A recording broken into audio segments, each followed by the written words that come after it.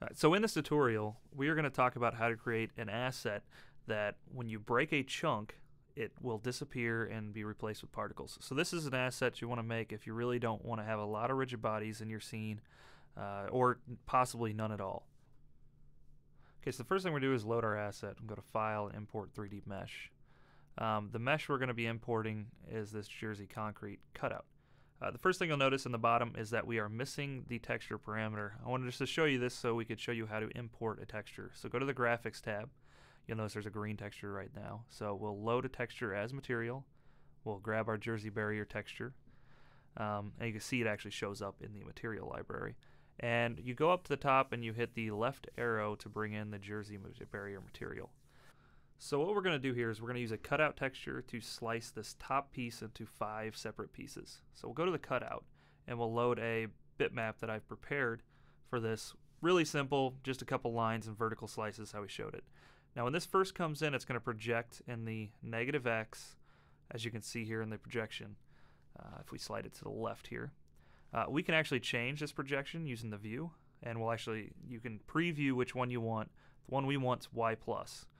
So once you've got the right projection you want, you go down to enable and enable it for the planes that you want it to. You can do as many planes as you want, so you can cut from all six axes.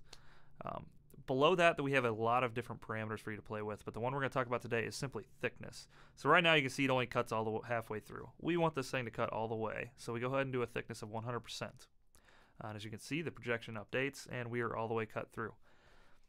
Next step is we go over to the uh, to the right panel again and hit fracture.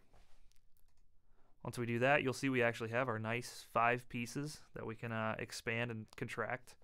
So the next step we want to do is we're going to go ahead and change the inner material. Uh, right now it's set up with a UV scale of 1 1. Um, so I'm just going to grab a different material, bring it in. You can see it here, and we actually change the width and the height of how much you want to scale it. And you'll actually see it update in real time on the left side. Um, once you have your UVs set how you want, you set the inner material to the new inner material we brought in. So the next step after this is we want to go into playground mode so you can actually see how this thing is going to break. Uh, and as you see, it's not exactly how you want right now. I have the gravity set at a negative value so we can see it all go up. Um, the first thing you want to do is you obviously want this to stay on the ground. So there's a couple parameters we can set. We can set the world overlap or the support depth. World overlap will hold the chunk on the ground if it is intersecting with world geometry. As you can see here, it is not. So what we need to do a little different here is actually tell the bottom chunk not to fracture and not to damage. This actually gets us most of the way to the behavior we're looking for. We're just we're just knocking off the top pieces.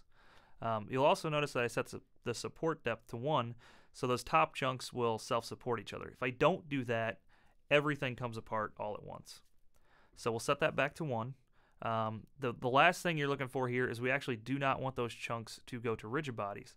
We will do this with the debris settings. So as you see here, we can check the debris box on the chunk relevance, hit the advanced tabs, and you're given two options, uh, max separation range and lifetime range.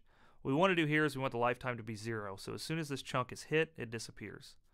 And as you can see, this is our desired behavior. We're going to take this into UE3 and we're going to add a uh, particle system and show you what it would look like as a final product.